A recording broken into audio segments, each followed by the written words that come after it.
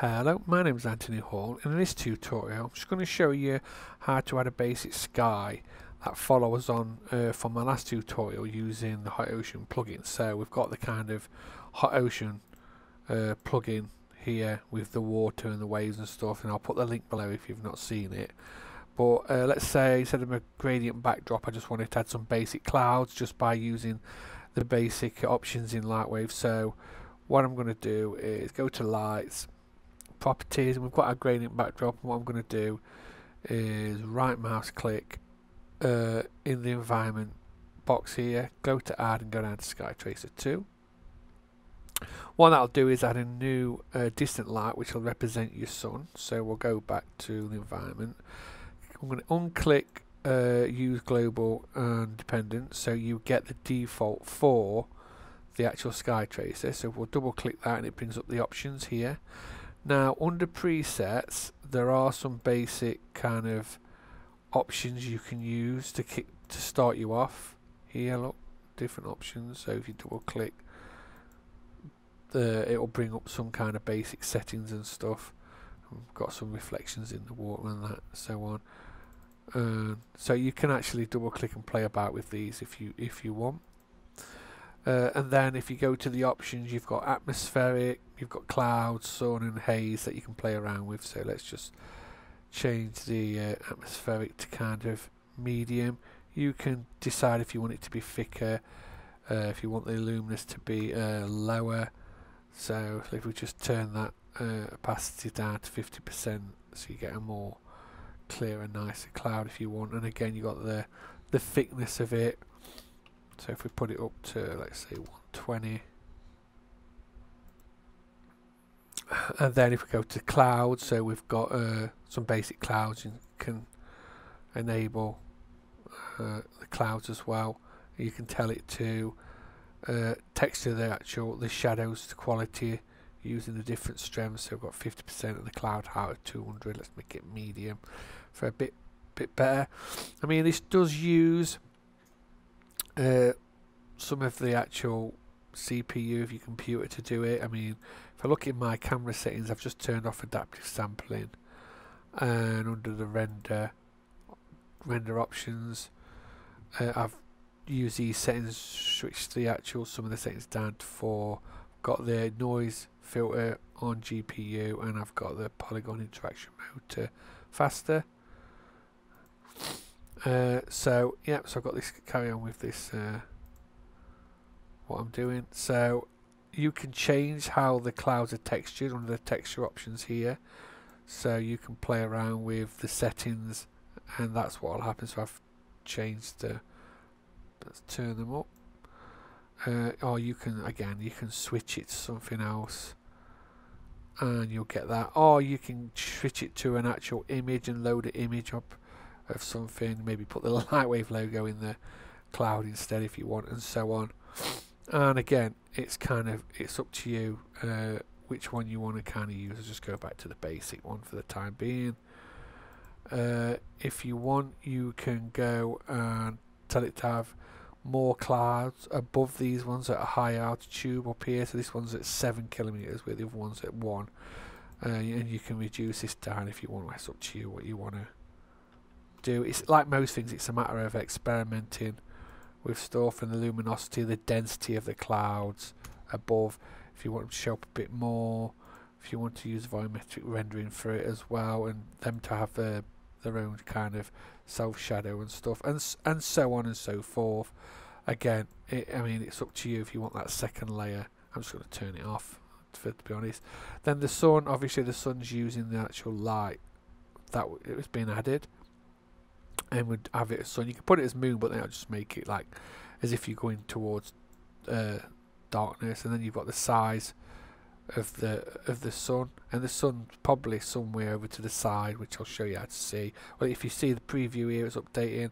You've got the sun here, so this is like a, a, a spherical map that wraps around and stuff, and you've got the shift uh, in the color so based on what you put in here, the colour will start changing slightly for the sun. But uh, again, it's like most things, it's a matter of playing around and understanding the textures better. But let's say I was happy with this. Okay, so I wanted to use this cloud here. But what I want to do is I don't want to use SkyTracer because it does use up some of my computer speed. So what I'm going to do is bake it into a there's an all, there's a sky baker here that you can bake it into uh, like a HDRI. So click that.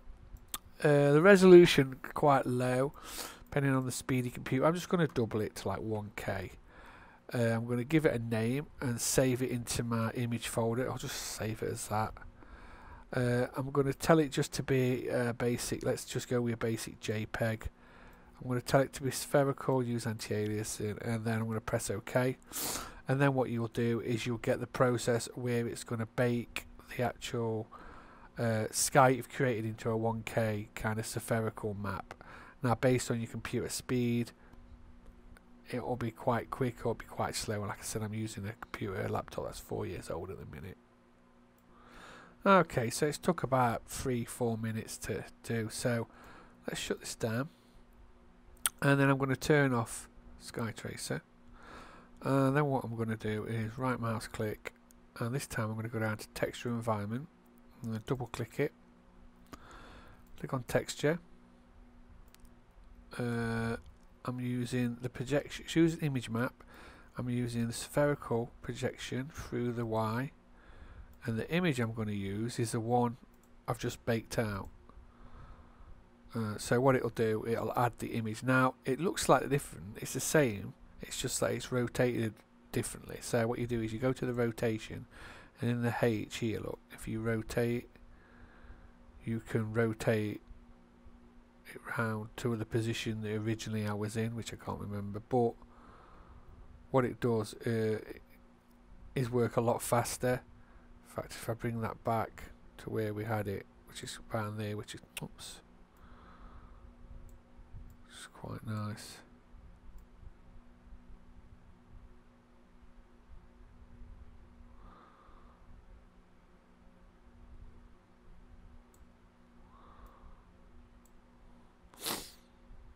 Got like a sunrise coming in here, look, and so on. Uh, but yeah, so now we're using the actual uh, baked image map instead of the sky tracer, so it is a lot, lot quicker uh, than what it was. So yeah, that's just the basics of how to just make a basic scene, but also in in SkyTracer, but also bake it out and then re-add it to make your scene quicker using uh, the texture environment. I mean, other stuff you could do is you could actually change some of the colours if you want. You know what I mean? Add a, a kind of uh, lighter colour. Same with the uh, the other colours. I mean, I mean, it's up to you what you want to kind of do. You know, to make it fit and feel the same, and also because you've got this, uh, you've got this kind of other environment lighting as well. It might be that uh, it needs to be rotated so the shadows on the on the water are actually working the same way as the sun would be coming. Because any little tiny shadows here would be on this side probably. So you need to make sure other lights in there are working uh, all together so they're actually you don't want lights facing different directions so the sun is actually all coming from here so uh, that's and it's quite low so that's kind of why the shadows are kind of beneath and stuff like that. But yeah anyway so that's the basics of using uh, an introduction to SkyTracer and how to bake it out and then add it as an image map. So again thanks for listening. Please share subscribe check out Lightwave Salvation Facebook group